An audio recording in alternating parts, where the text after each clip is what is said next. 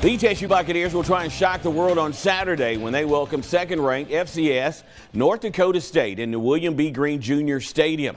This will be the second matchup between the two teams. The Bucs and Bisons clashed back in 2021 in an FCS quarterfinal matchup. Both teams come in the game one and one. The Bisons' only loss was Deion Sanders in Colorado in the opening game of the year, and it was close. The Bisons have only seen the Bucs on tape, but they're impressed with what they saw.